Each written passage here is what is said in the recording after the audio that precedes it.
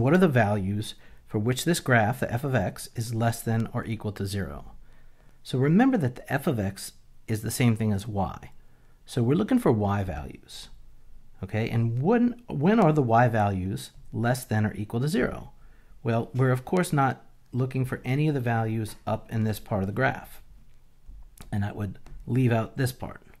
We're looking for the values where they're 0 or less than. So anything we would see here or below. Now there is a little tricky part to this. Okay, you can tell that this part of the graph is less than 0.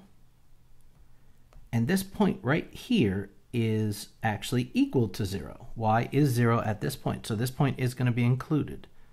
We're only taking our x values, so this is everything from negative infinity to 0.5. So the part that I put in red from negative infinity to 0.5 is less than or equal to 0 for the y. But there's another part, and it's right over here. This dot right here, this point right here, is equal to 0. y is equal to 0. And that happens at 5.5. So we have an interval to the left, everything from negative infinity to 0.5, and we also have this point of 5.5. Now for interval notation, your in infinities and negative infinities always get parentheses. 0.5 is included, so we put a bracket. And then we have one more point of 5.5.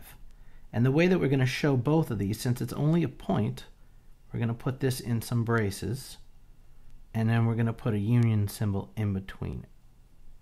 Okay, so this says that your f of x is less than or equal to 0 everywhere from negative infinity to 0.5 and then also again at 5.5.